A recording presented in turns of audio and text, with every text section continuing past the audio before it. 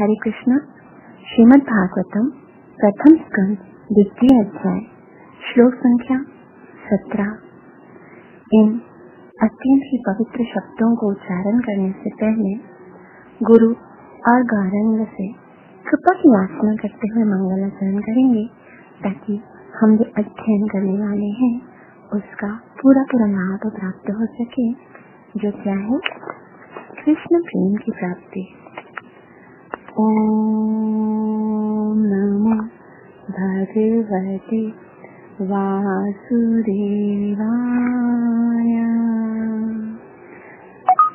ॐ अज्ञानतिमिरन्दस्य ज्ञानञ्जनाशलाकया चक्षुरुन्मिलितं येन। तस्मै श्री गुरुवे नमः। श्रीचैतन्यामनोभीष्टम् स्थापितं येन भूतले। स्वयं रूपः कदा मह्यम् ददाति स्वपदान्तिकम् यं प्राव्रजन्तमनुपीतमपि एककृत्यम् द्वैपायनो विरहकातर आजुहाव। पुत्रीति तन्मयतया तरवोऽभिनेदु तं सर्वभूतहृदयम् मुनिमानतोऽस्मि। यः स्वानुभावमखिल श्रुतिसारमेकम् अध्यात्मदीपमतिति दिशतां तमोन्धम् संसारिणां करुणयाः पुराणगुह्यम् तं व्याससोनुमुपया मे गुरुं मुनीनाम् नारायणं नमस्कृत्य नरं चैव नरोत्तमम् देवीं सरस्वतीं व्यासम् ततो जय मुदीरये। नष्टप्रायेषु भद्रेषु नित्यं भागवतसेवया भगवती उत्मा उत्तमश्लोके भक्तिरभवति नैष्टिकी पञ्चतत्त्वात्मकं कृष्ण भक्तरूपस्वरूपकम् भक्तावतारभक्ताख्यम् नमामि भक्तशक्तिकम्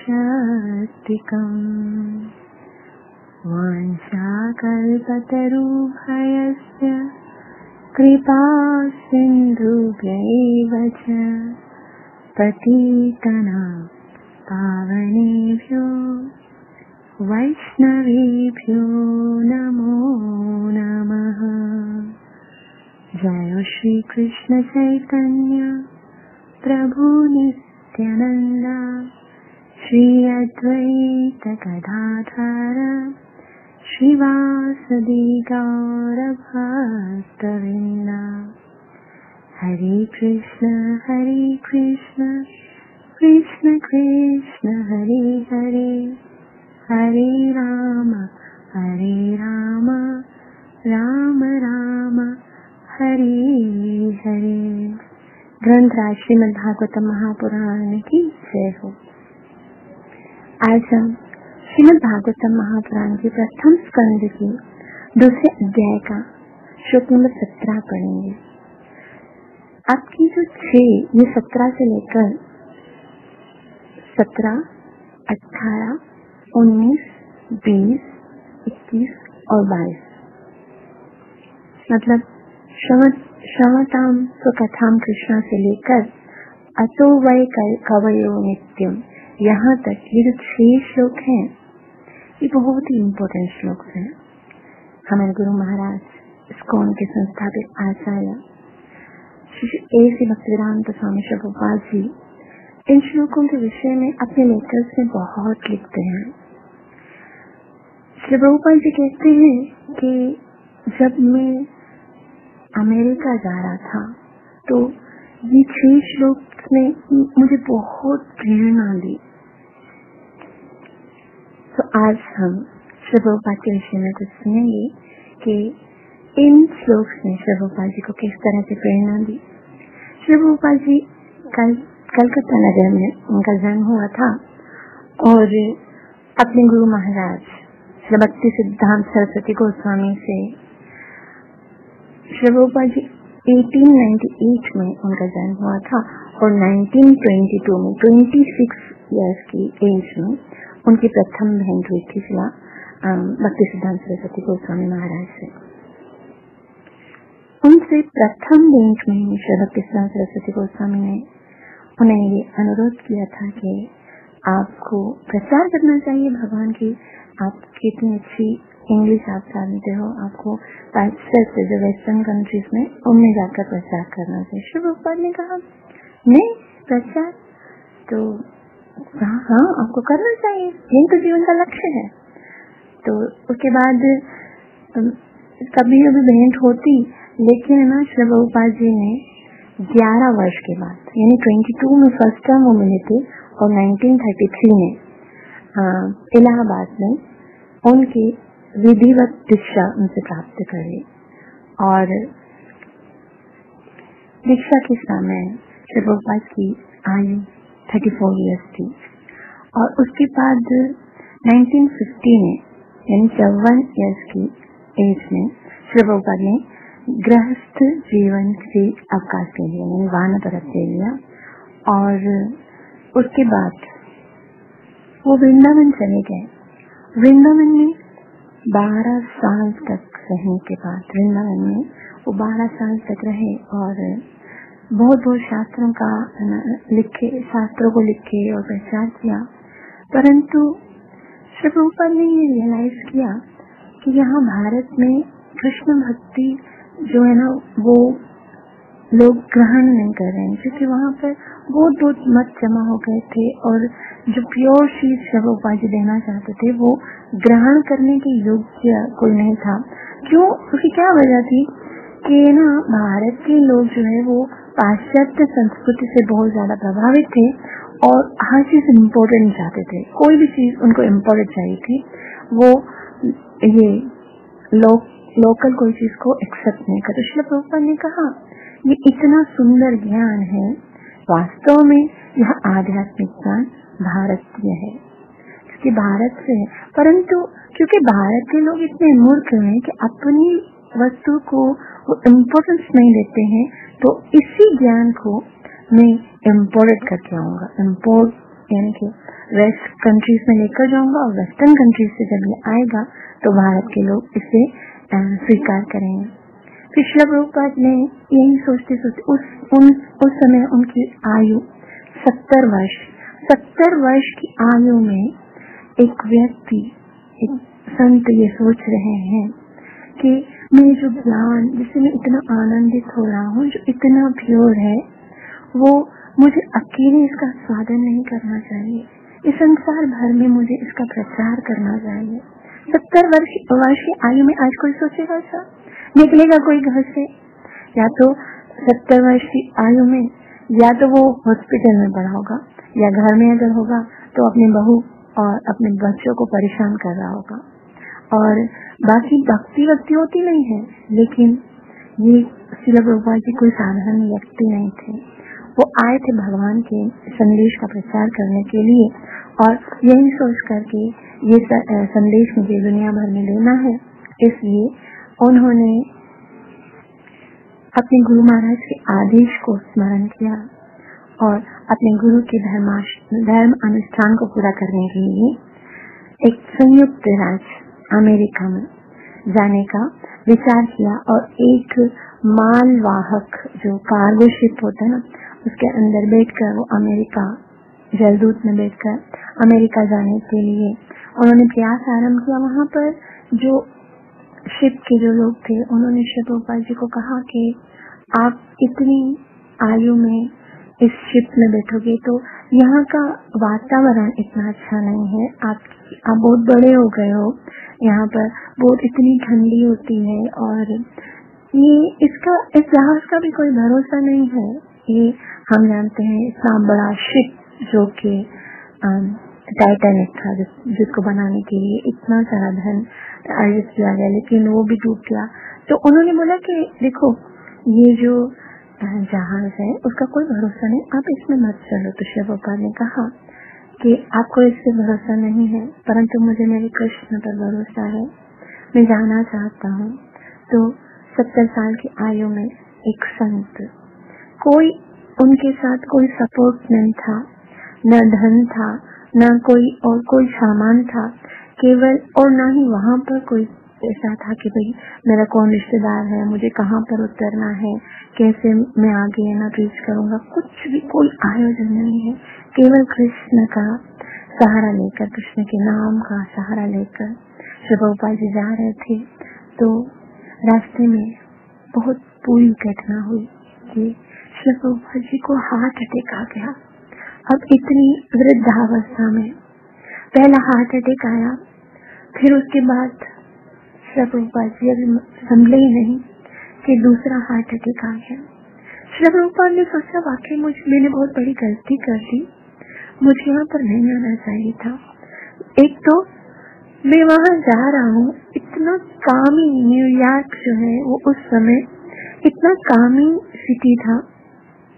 अभी भी है, लेकिन वहाँ पर लोग नशा करते थे और साथ में ऐसे इंजेक्शन लेते थे, जैसे एलएसडी का प्रयोग करते थे और जिससे एक साथ में उन्हें बहुत बहुत नशा उनको हो जाता था और वो हर प्रकार के अवैध संग करते थे और हर हर प्रकार के अपराध करते थे जिनको बोलना भी नहीं समझ में आ रहा कि किस तरह से कहा जाए। लेकिन श्री गोपाल जी सोचने लगे, वाकई मुझे नहीं जाना चाहिए था। मैं वहाँ जाकर करूँगा करूँगा भी क्या? एक तो वहाँ कंडीशन ऐसी है कि मेरी कोई बात पता नहीं सुनेगा या नहीं सुनेगा। और दूसरा ये कि मेरी अपनी तबीयत भी अब दो हार्ट अटैक आ गए हैं। अब तो मैं वहाँ जाकर ऐसा ना हो कि मैं गलती तो नहीं कर रहा हूँ। ऐसे कहते कहते श्री गोपाल जी एक भजन लिख रहे थे। श्री गोपाल जी बहुत हताश हो गए थे। और एक भजन लिखा श्री गोपाल जी ने बड़ो कृपा कोयलो, कृष्ण अधमेर प्रति। कृष्ण, इस अधम के ऊपर आपने बहुत कृपा की है। और शिला प्रभुपाद ने उस भजन में भी इन श्लोकों के विषय में जो छह श्लोक आज से हम पढ़ेंगे, उन्होंने शिला प्रभुपाद जी को बहुत बहुत आश्वासन दिया। बहुत बहुत प्रभुपाद जी को धारस बनाई और प्रभुपाद ने अपने लेक्चर में भी बहुत बहुत इनके विषय में कहा कि ये जो छह श्लोक हैं वो ऐसे हैं जिन्होंने मुझे प्रेरणा दी कि मैं अमेरिका गया। कुछ नहीं लेकर गए थे। केवल ये भागवत कथा, केवल ये भगवान का नाम, ये दो बल लेकर गए थे और नक्शा चेंज कर दिया। दुनिया की, है ना, नक्शे में अमेरिका के जो लोग थे, उनका उनका लाइफ स्टाइल चेंज कर दिया। आज उन्हीं की कृपा से जो अमेरिका के इतने कामी सिटी के जो व्यक्ति है, वो भारत में आ रहे हैं दीक्षा देने के लिए भारतीयों को, राधानाथ स्वामी, जो कि अमेरिका के हैं और तीस हज़ार भारतीयों को शिक्षा दे चुके हैं। तो दीक्षा तो ये ये तो सिर्फ़ और सिर्फ़ इस श्रीमद भागवतम के वचनों और, है ना, भगवान के पवित्र नाम के प्रति उनकी श्रद्धा थी, जिसके कारण ये सब आज संभव है, हो चुका, हो सक रहा है कि संसार के कोने कोने में महामंत्र का हम श्रवण कर रहे हैं। और श्रीमद भागवतम महापुराण का प्रचार हो रहा है। तो ये श्रीमद भागवतम के शब्द हैं, वो कोई साधारण नहीं है। बहुत बहुत इनके अंदर शक्ति है। हमें श्लोक नंबर पंद्रह में पढ़ा था ना? यदनुध्यास युक्त कर्म ग्रंथि निबंधनम चिंदंती को विदास्तस्य कौन कुरिया कथारते ये जो कर्म ग्रंथि निबंधनम शब्द है ना, कितना ज़्यादा इम्पोर्टेंट है। वास्तव में भक्तों, हमारे मनुष्य, हमारे किसी भी मनुष्य क्या, शास्त्र तो यहाँ तक कहता है, एक छोटे से छोटी चिंकी से लेकर, संसार का बड़े से बड़ा जीव, ब्रह्मा जी, इंद्र, बड़े से बड़ा देवता भी क्यों ना हो। उनको अपने कर्मों के हिसाब किताब को चुकता करना पड़ता है। लेकिन ये श्रीमद भागवतम महापुराण ऐसा है जो आपके कर्म के ग्रंथनी को तो, तोड़ देता है। बड़े से बड़ा व्यक्ति भी अगर आपके जीवन में सुख लिखा है तो आप चाहे कितना कोई चाहे कितना भी प्रयास करे आपको दुखी नहीं कर सकता। लेकिन यदि आपके जीवन में दुख लिखा है तो आप भले कितना भी प्रयास करो दुखों को समाप्त नहीं कर सकते, क्योंकि आपके कर्मों का है, वो आपको भोगना पड़ेगा। आज नहीं तो कल उसका हिसाब देना पड़ेगा। लेकिन श्रीमद भागवत महापुराण की कथा ऐसी है यद अनुध्यासिना युक्तम जो भगवान का ध्यान यहाँ पर कहते हैं, ये जो कर्म की ग्रंथि है ना, कर्म की जो गांठ है उसको काट देती है। क्योंकि हम जब भागवत महापुराण श्रवण करते हैं तो भगवान का ध्यान जो हम इस, इस, इसके द्वारा करते हैं तो हमारे कर्म कट जाते हैं। केवल भगवान के अंदर केवल भगवान की कथा के अंदर ही इतना पावर है कि वो हमारे कर्मों से हमारे ज्ञान छुड़ा सकते। भगवान कहते हैं तुम आओ मेरे पास हम तो हम सर्व पापे तुम्हारे अपराधों के कारण तुम्हें दुख मिल रहा है। तुमने जो अपराध वाले कर्म किए, उसी के कारण दुखी हो ना मैं बैठा हूँ, मैं तुम्हारे समस्त अपराधों को नष्ट कर दूँगा। तुम्हें कुछ फ़िक्र करने की ज़रूरत नहीं तुम खाली मेरी कथा को श्रवण करो। तो यहाँ पर सुत गोस्वामी पूछते है, कौन कोई याद कथा रहती हूँ? कौन होगा ऐसा जो अपने दुखों से छूटना नहीं चाहेगा, कर्म ग्रंथनी को तोड़ना नहीं चाहेगा? ऐसा कौन होगा? तो फिर उसके बाद बताया श्लोक नंबर सिक्सटीन में कि भगवान की कथा में रुचि उत्पन्न करने के लिए चार चीज़ें। बताई कि सबसे पहले तो आपके पास अपनी दो चीज़ें होनी चाहिए, वो क्या है? इच्छा होनी चाहिए और श्रद्धा होनी चाहिए। ये दो चीज़ें होंगी। उसको डेवलप किया जा सकता है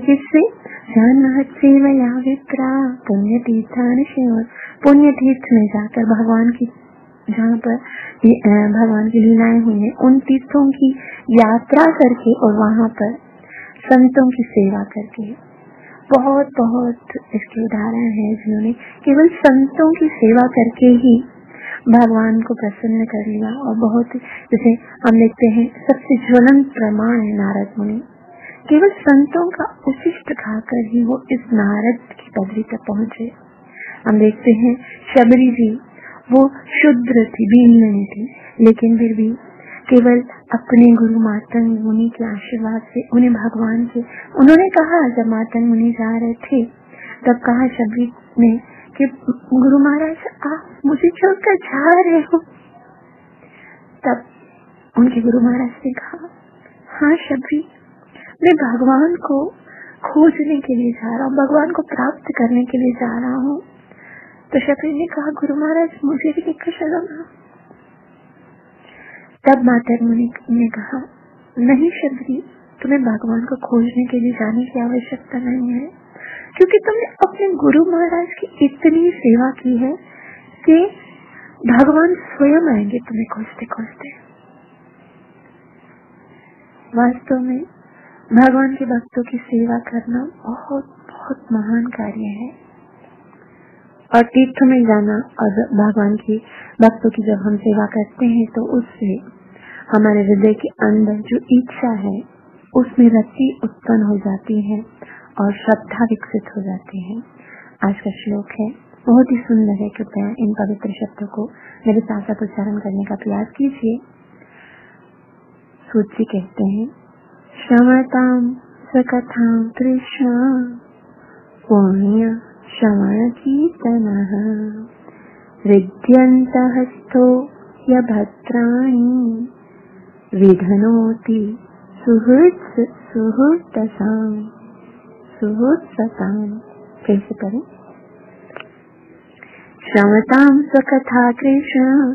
पुण्य श्रवण कीर्तन हृद्यन्तस्थो ह्यभद्राणि विधिनोति सुहृत्सताम् श्रवतां कथा कृष्ण पुण्य श्रवण कीर्तन हृद्यन्तस्थो ह्यभद्राणि विधिनोति सुहृत्सताम्।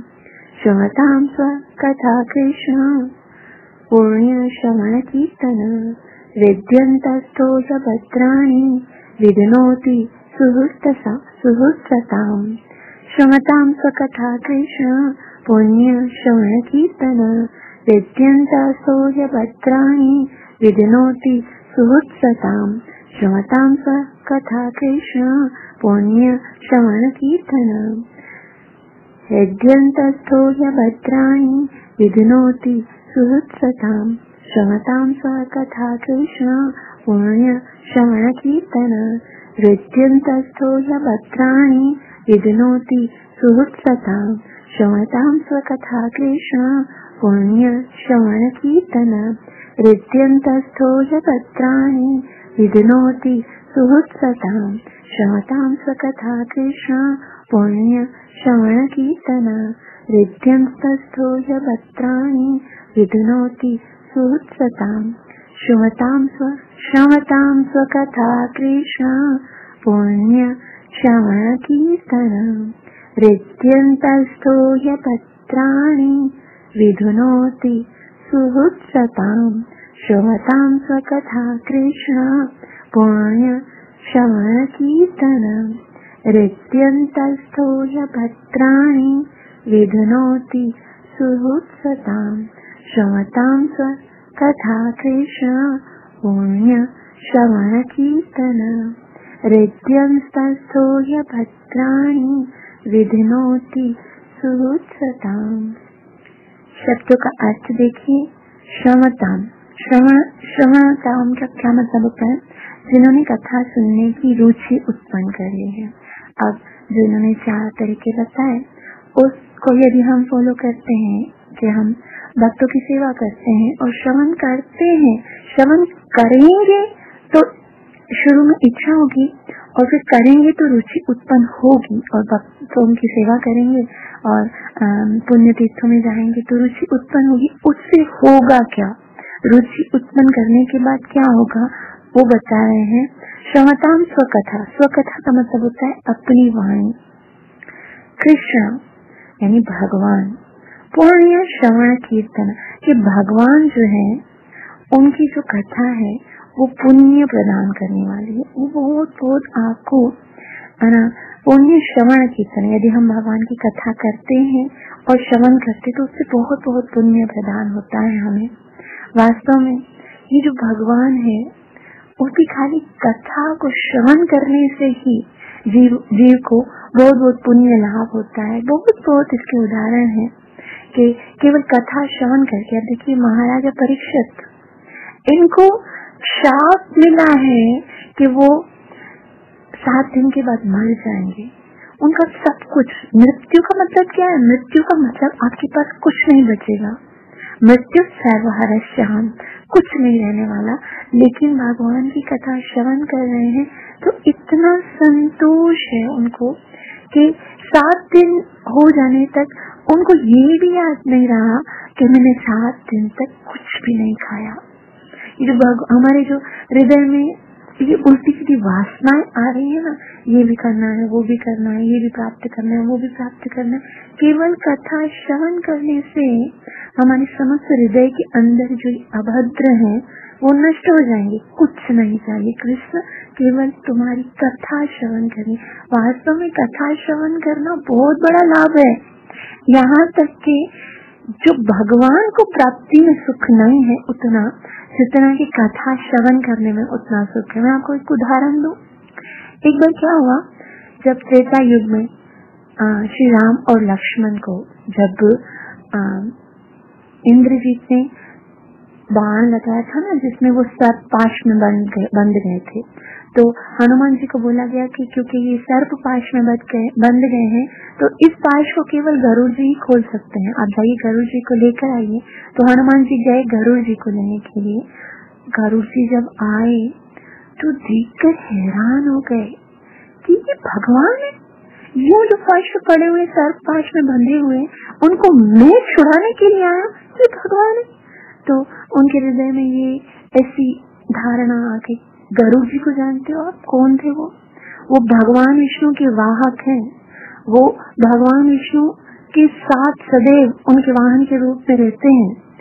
और कंटिन्यूस भगवान का संग उन्हें मिलता है, लेकिन फिर भी भगवान की लीला को देखकर उनके हृदय में संशय उत्पन्न हो गया। और वो कहने लगे कि ये ना, इतने, भगवान कैसे हो सकते ये तो फिर उनको खोला और फिर भी उनके हृदय का ये संदेह मिटा नहीं तो फिर भगवान ने उन्हें ये आदेश दिया। विष्णु भगवान ने कि आप ऐसा करो कि सुमेरु पर्वत पर काक कुशंडी की कथा करते हैं? आप उधर से होकर आओ। कोई ऐसे ही भेजा कि आप उधर जाओ, कोई काम से। तो वहाँ पर वो गए और उनकी जब मुखारन से काकुशंडी के मुखारन से भगवान के कथा को जब सुना, तब उन्हें भगवान के विषय में जो संशय था वो मिट गया। तो फिर जब वापस गए तो कुछ दिनों के बाद गुरु जी कहने लगे कि भगवान मुझे छुट्टी चाहिए। तो, तो जी ने बोला किस बात की छुट्टी? बोला देखो मैं कितने टाइम से ना आपकी सेवा कर रहा हूँ। ना कभी मैंने कोई सिक लीव ली है और ना ही कोई अर्जेंट वर्क ना आपने मुझे छुट्टी दी है। मुझे छुट्टी चाहिए कुछ दिनों के लिए मैं जाना चाहता हूँ। तो विष्णु जी ने कहा कि देखो तुम गोलोक में रहते हो, मेरे धाम में रहते हो, मेरा सानिध्य प्राप्त है। छुट्टी तो इंसान रिफ्रेशमेंट के लिए करता है ना कि मैं अभी थक गया हूँ तो यहाँ मेरी सेवा करके तुम्हें थकन या मतलब ऐसा तो कुछ नहीं है। सबसे ज़्यादा सुंदर कार्य है ये। इसी में तुमको एंजॉय होना चाहिए। इसके अतिरिक्त और क्या ऐसी चीज़ है जिसमें तुमको आनंद आ गई तो कितना आनंदमय कार्य है तुम्हारा। तो गरुड़ जी ने कहा, देखो भगवान, आपकी सेवा करने में मुझे इतना आनंद नहीं आ रहा है। मैं फिर से सुमेरु जाना चाहता हूँ। काग कुशंडी जी के मुखारिन से आपकी आपकी कथा को श्रवण करना चाहता हूँ। और मुझे छुट्टी दे दो, मैं कुछ समय के लिए वहाँ पर जाकर आपकी कथाओं का श्रवण करना चाहता हूँ। क्योंकि जब मैं कथा को श्रवण करता हूँ तो आपके प्रति मेरी प्रीति में करोड़ों गुना ज़्यादा और भी बढ़ जाता है प्रेम। तो वो फिर से तो विष्णु भगवान बहुत खुश हुए और बोला हाँ तुम जाओ। और फिर हम जो कहा विष्णु है ना, वो कंटिन्यूस कथा कर सतत कथा करते हैं। मतलब हमेशा कथा करते रहते भगवान की लीलाओं का वर्णन करते रहते हैं। और है ना, जब भगवान श्री राम जिस युग में आते हैं, जैसे त्रेता युग में जब वो आते हैं तो पाँच साल की आयु तक वो भगवान की लीलाओं में उनका सहयोग करते हैं, भगवान के साथ वो लीला करते हैं। तो सिर्फ़ ये पाँच साल तक उनके सुमेरु पर्वत में कथा नहीं होती है और कंटिन्यूस कथा होती है। बड़े बड़े देवता भी आकर उनके यहाँ पर कथा श्रवण करते तो कथा की इतनी महिमा है कि स्वयं गरुड़ जी जो के भगवान के साथ रहते हैं, वो भी भगवान की कथा श्रवण करने के लिए लालायित रहते हैं। हनुमान जी को भगवान ने कहा चलो हनुमान, अब मैं जा रहा हूँ। इस संसार में मेरा कार्य समाप्त हो गया। तो हनुमान ने कहा, प्रभु कहाँ जा रहे हैं? तो बोला, अब चलते हैं गौलोक में। लेकिन हनुमान ने कहा, क्या वहाँ पर कथा श्रवण करने को मिलेगा? तो श्री राम ने कहा, कथा की क्या आवश्यकता है? कथा श्रवण करने का लाभ क्या है कि मैं प्राप्त हो जाता हूँ? और जब मैं प्राप्त हो जाता हूँ, फिर कथा की क्या आवश्यकता? तो हनुमान जी ने कहा, नहीं प्रभु, फिर मैं यहीं पर ठीक हूँ। मैं नहीं चाहूँगा मैं यहीं पर सदैव आपका भजन करता रहूँगा, आपकी कथाओं को श्रवण करता रहूँगा। जहाँ जहाँ भगवान आपकी कथा होगी, मैं वहीं पर जाऊँगा। तो वास्तव में कथा जो है, भगवान की कथा का श्रवण करना, वो भगवान की प्राप्ति से ज़्यादा आनंदमय है। क्यों? क्या होता है भगवान की कथा श्रवण करने से? वो आगे बढ़ते हैं। सूची बता रहे हैं रिद्यंतस्थो ये भद्रान रिद्यंतस्थो का क्या मतलब होता है? रिद्यंत इसका मतलब होता है, अपने हृदय के भीतर। अब हृदय के भीतर क्या होता है? सामान्य मनुष्य के हृदय के भीतर केवल अभद्र होते हैं, केवल बुराइयाँ होती हैं, केवल काम, क्रोध, लव, लोभ, मोह मत होता है। तो यहाँ पर यही कह रहे हैं हृदय तस्तु ही अभद्राएँ अभद्राएँ यानी पदार्थ को भोगने की इच्छा। सबसे बड़ा जो अभद्र है, वो यही इच्छा है। इच्छा के कारण ही हमारे हृदय के अंदर जो इच्छा है ना, उसी के कारण बाकी सब जितनी भी बुराइयाँ हैं, वो हृदय के अंदर प्रवेश करते हैं। पहले काम काम से क्रोध क्रोध से लोभ लोभ से मोह मोह से मत मात्सर्य और अहंकार, ये सब काम का वास्तव में जो सबसे बड़ा हमारे, हमारा जो दुष्, दोषित जो मन का बड़ा सबसे दोष है, वो है इच्छा। क्योंकि हम अपने आप को भगवान का दास नहीं मानते हैं इसी हृदय के अंदर अनेक अनेक इच्छाएँ होती हैं कि कैसे प्रभुत्व जताएँ कैसे इंद्र तृप्ति करें। ये सबसे बड़ा दोष है, लेकिन जब कथा सुनते हैं तो कथा सुनते सुनते सुनते हृदय का, हृदय के अंदर जो ये दोष है, वो समाप्त हो जाता है और हम ज्ञान वैराग्य युक्त भगवान का जब कथा श्रवण करते हैं तो ये व्यक्ति से ज्ञान प्राप्त होता है और वैराग्य आ जाता है। कुछ नहीं, मेरा मुझे कुछ नहीं चाहिए। केवल कृष्ण को प्रसन्न करना ही, जीवन का एकमात्र लक्ष्य है। तो यह इच्छा, पदार्थ को भोगने की इच्छा, विघ्नोती। कितना सुंदर शब्द है। विघ्नोती का मतलब होता है, स्वच्छ करता है, विमल बना देता है। और सुहृत सताम। सुहृत सताम का मतलब होता है, सुहृत मतलब उपकारी है। सताम का मतलब होता है, सत्यनिष्ठ। यानी कि जो भगवान के भक्त होते हैं, भगवान उनके सुहृत है, भगवान उनके मित्र हैं। और यहाँ पर यह प्रश्न उठता है कि भगवान क्या सुहृत सताम है? क्योंकि भगवान तो भगवत भगवत गीता में कहते हैं सुहृत तेषु सर्वभूताना मैं तो सारे, समस्त जीवों का सुहृत हूँ। लेकिन यहाँ पर भगवान ये बता रहे हैं सुध गोस्वामी कहते हैं कि भगवान तो सबके सुहृद हैं, सबके साथ मित्रवत्व व्यवहार करते हैं, लेकिन जीव ही नहीं चाहता कि भगवान उनके साथ मित्रवत व्यवहार करें। इसलिए जीव कहता है कि भगवान निराकार है। भगवान बोलते हैं, मैं तुम्हारा दोस्त हूँ, तुमसे प्रेम करता हूँ, तुम्हारे साथ मित्रवत व्यवहार करना चाहता हूँ। सुहृत सुरदेशु सर्वभूतेशु लेकिन वो वो बोलते नहीं भाई, भगवान तो निराकार है। अब निराकार से कैसे मित्रता करे? कैसे भगवान दोस्ती करे? तो फिर भगवान को जो साकार मानते हैं, जो भगवान को, भगवान से मित्रता करना चाहते हैं, वो भक्तगण है। तो सूद गोस्वामी ने कह दिया कि भगवान भले बोलते रहे सबको कि मैं सबका मित्र हूँ, सबका मित्र हूँ, सबका मित्र हूँ, लेकिन जो मित्र का मित्रता का हाथ बढ़ाएगा नहीं तो उनके साथ कैसे मित्रता करेंगे? इसलिए लिख दिया सुहृत साम विधनोती विधनोती का मतलब होता है धो देते हैं, साफ़ कर देते हैं। और जब हम भगवान की कथा श्रवण करते हैं ना तो भगवान हृदय के अंदर आ जाते हैं और वो अकेले नहीं आते हैं। वो अपने साथ बहुत सारी चीज़ें लेकर आते हैं। क्या लेकर आते हैं? वो डिटर्जेंट लेकर आते हैं और स्कॉच जैसे साफ़ करते ना, वो भी लेकर आते हैं। और जो दूसरी सफ़ाई की जो जितनी चीज़ें हैं ना विम बार लिक्विड और ये जितना भी पाउडर है ना विम पाउडर वो सब लेकर आते हैं। क्योंकि हृदय मलिन है, हृदय के अंदर बहुत सारी अभद्र है, बहुत सारी इच्छाएँ हैं, जो कि हम नहीं दूर कर सकते। कुछ कुछ लोग कहते हैं कि भाई हम चाह, हमारे अंदर बहुत ही इतनी बुरी आदतें हैं, जो कि हम चाहते हुए भी समाप्त नहीं कर सकते हैं। तो फिर ना हम, हमारा हमारी कथा में रुचि नहीं। नहीं, आपको कुछ नहीं करना है। आपको इसी गंदे हृदय के साथ ही कथा श्रवण करनी है। कुछ बोलते हैं कि भाई, हम नॉन वेजिटेरियन खाना खाते हैं या फिर ये इस चीज़ में हमारी आसक्ति है, नहीं छूट रही है तो रहने दो, नहीं छूट रही है तो भी रहने दो। आपको कुछ करने की ज़रूरत नहीं है। आप खाली आके बैठ जाओ और कथा श्रवण करो। ये जो मुश्किल है ना, सफ़ाई का काम। आप कोई बोले कि भाई, मैं कितना दिल करता है, चाय छोड़ने का, लेकिन दिल नहीं करता। मतलब मैं कर नहीं पा रहा हूँ, मेरे अंदर इतना पा तो तुम कर पाओगे भी नहीं। पंद्रह दफ़ा छोड़ चुके, फिर से शुरू कर दिया। कोई भी चीज़ गंदी आदत, जो आप छोड़ने का प्रयास करते हो अपने प्रयास पर रहने दो। करो ही नहीं, आप कथा श्रवण करो, केवल भगवान की कथा श्रवण करने से ज्ञान और वैराग्य उत्पन्न होगा। ये सब भगवान स्वयं कहते हैं कि कथा श्रवण करने से आपके हृदय के अंदर वैराग्य उत्पन्न होगा। फिर करने का दिल ही नहीं करेगा। आपके पास इतना समय भी नहीं होगा कि आप ये सोचो कि मुझे ये कार्य करना है। समय ही नहीं मिलेगा। कथा में इतना व्यस्त हो जाओगे कि कथा के अंदर इतना रुचि लग जाएगी कि और कोई अभद्र करने का आप, आपके पास अवकाश ही नहीं बचेगा।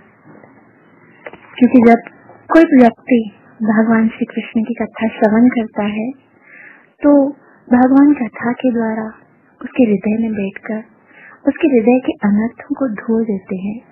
तो सारे अनर्थ जो भौतिक इच्छाएँ हैं, भोग की इच्छाएँ हैं, लालच है, वो सब दूर हो जाते हैं और कृष्ण के प्रति भक्ति बढ़ती है। जब भक्ति बढ़ती है तो क्या होता है?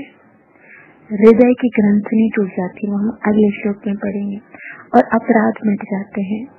हमारे कर्म क्षीण हो जाते हैं और कर्मों की जो गांठ है वो खुल जाती है और भगवत तत्व और विज्ञान हो जाता है केवल कथा श्रवण करने से।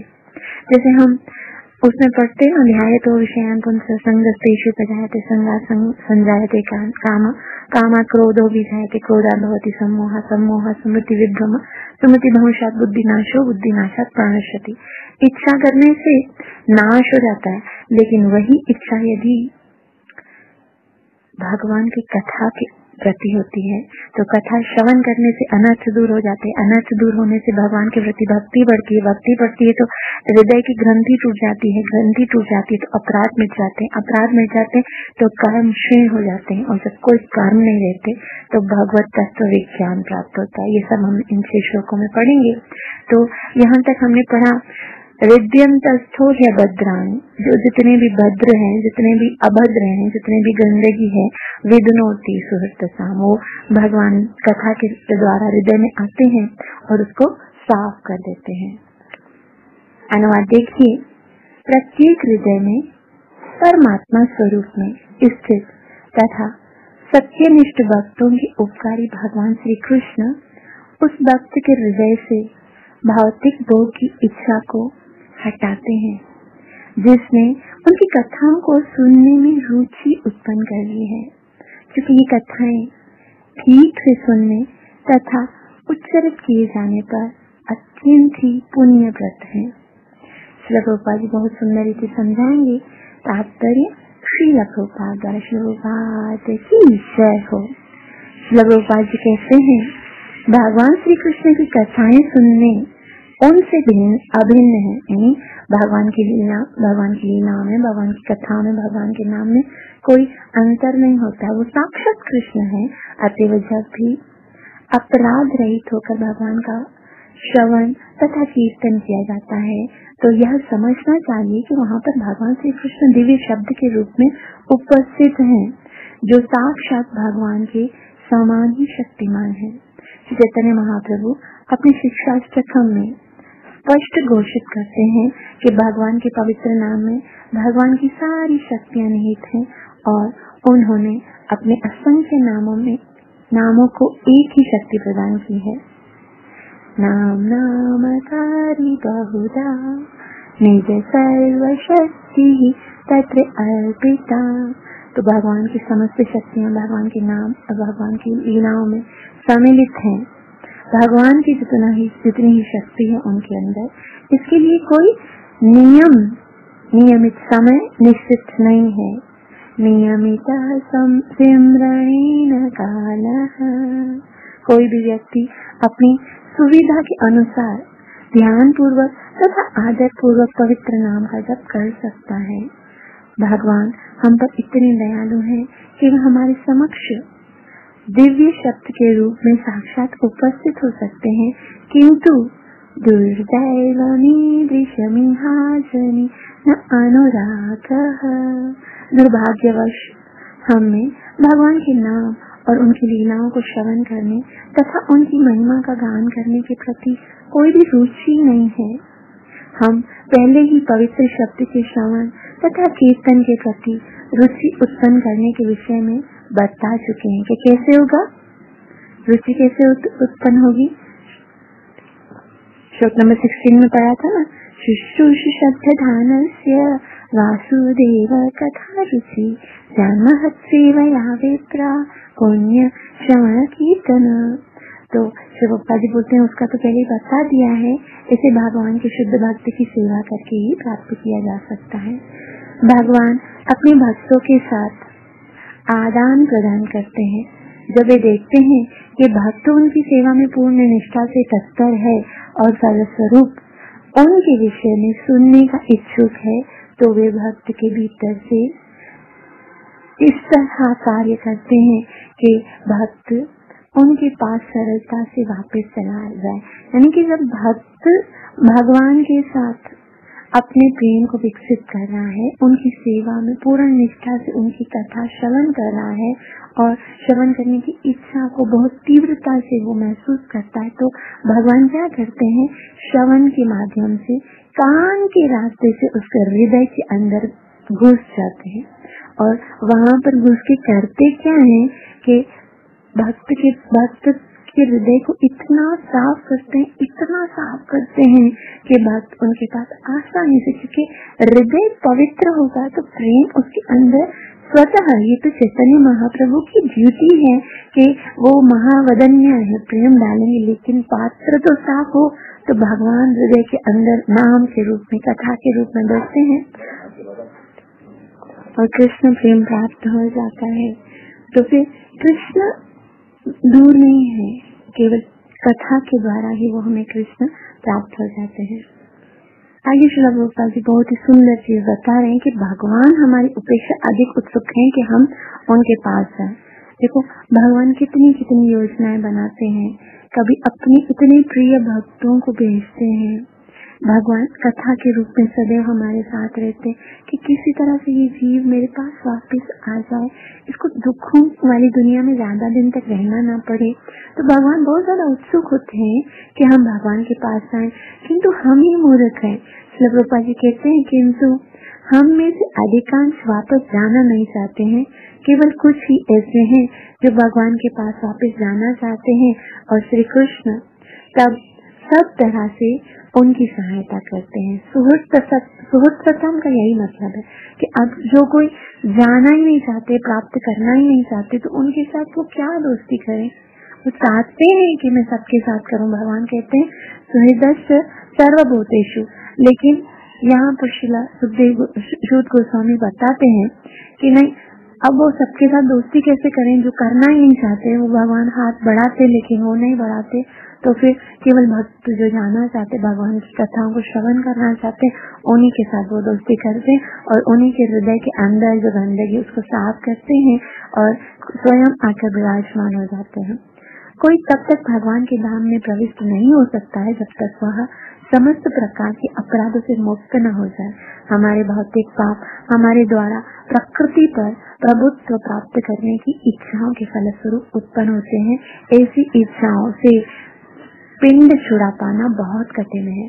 भगवत धाम जाने के मार्ग में कामिनी तथा टेंशन मुख्य बाधा है। यहाँ पर शिला प्रभुपा जी बहुत ही सिद्धांत बड़ा बताते हैं कि आप जाना चाहते हो ना भगवान के धाम तक, आप ये अपने इन दुखों भरी दुनिया से तंग हो गए हो, आप चाहते हो कि सारे कर्मों की जो बंधन है, कर्मों का, जिसके कारण आप बारम्बार जन्म मृत्यु के चक्कर में फंस रहे हो, आप इनसे छूटना चाहते हो तो सुन लो मेरी बात कि जब तक आप अपने पापों से मुक्त नहीं हो जाते, जब तक कर्म ग्रंथ की छूट नहीं जाती, जब तक ये सारे कर्मों का हिसाब किताब पूरा नहीं हो जाता, तब तक आप भगवान के धाम में नहीं जा सकते हो।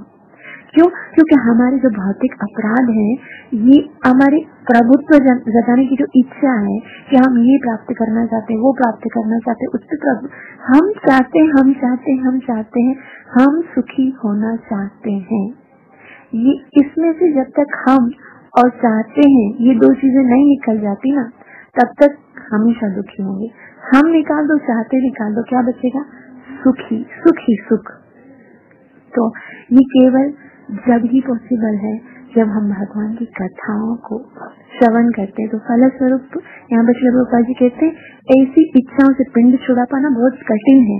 भागवत दाम जाने के मार्ग में कामिनी और कंचन, यानी धन और कामिनी का मतलब होता है, जैसे अवैध संग होता है ना, वो स्त्री संग और कंचन, ये बहुत बड़ी बाधाएँ हैं, क्योंकि इच्छा होती है ना हृदय के अंदर, भक्ति पद के अनेक दिग्गज इन प्रबलों इन प्रलोभनों का शिकार होने से मुक्ति मुक्ति पथ से लौट आए हैं।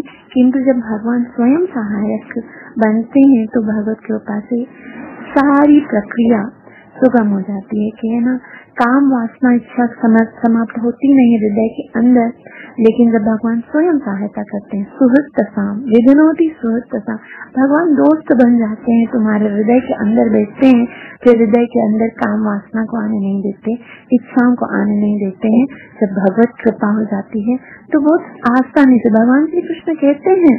भगवत गीता एक पॉइंट फोर्टीन में कि हम सुलभ पार्थ जो मेरी भक्ति करते हैं, जो मेरी कथाओं का श्रवण करते हैं, एवं मेरा कीर्तन करते हैं उनके लिए मैं बहुत आसानी कर देता हूँ। उनके हृदय में इच्छा उत्पन्न ही नहीं होने देता हूँ। उनके हृदय में केवल एक ही इच्छा होती है कि वो कैसे मुझे प्राप्त करते हैं।